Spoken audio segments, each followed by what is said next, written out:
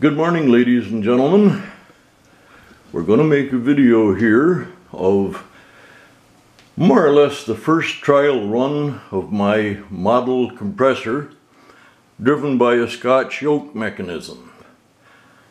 Now it's 40 below outside and my garage is really cold so I'm not out in the main garage with one of my small engines. I'm in my warm office and instead of my engine I've got my variable speed drill as my driver. We will make a better edition of this where it's driven by one of my small gasoline engines but I thought you might be interested in seeing this. This is kind of nifty. I've got this knob here hooked up so when I screw it in it presses on the trigger of the variable speed drill and I can increase or decrease the speed.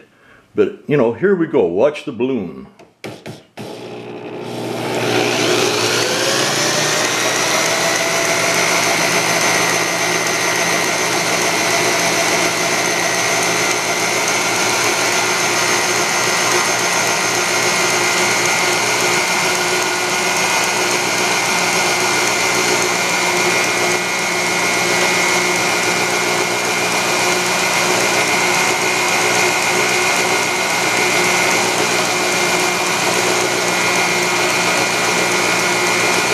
So okay, you get the general idea.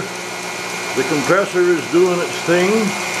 I can let it run until the balloon pops, or I can slow it down. Since this was only a test flight, we'll slow it down now. And if I leave it, the balloon will slowly back off and feed back through the valves. There's a better look at my Scotch yoke mechanism.